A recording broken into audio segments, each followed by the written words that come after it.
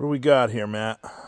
This is a gasoline powered power tapper from the GH Grimm Company, one of the very first handheld uh, power tappers that were invented.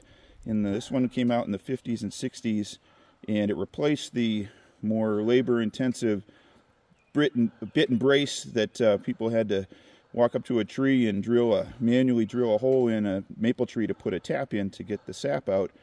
When this was introduced, it sped up the the work and and took a little bit of the labor away. And folks had to would carry this through the woods, tapping hundreds of holes a day uh, with a little two-stroke gasoline-powered engine.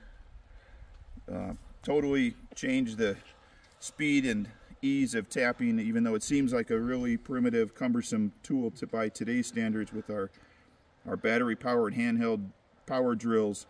This was this was a game changer for tapping technology in in the middle of the last century. How heavy is it?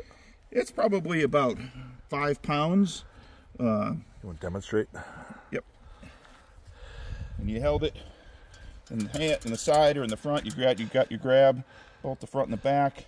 This is a spring that helped you control the pressure up against the tree and helped you guide how deep you would tap. And uh, pretty much had one speed, and you just kind of went in and went out. Unlike you know, like say today's power drills with variable speeds, but uh, it's it's it's not light, but it's it's not that heavy. Although I'm sure people took turns uh, after a few hours and took a break, but uh, it was worth the it was worth the effort in comparison to standing with a bit and brace all day long.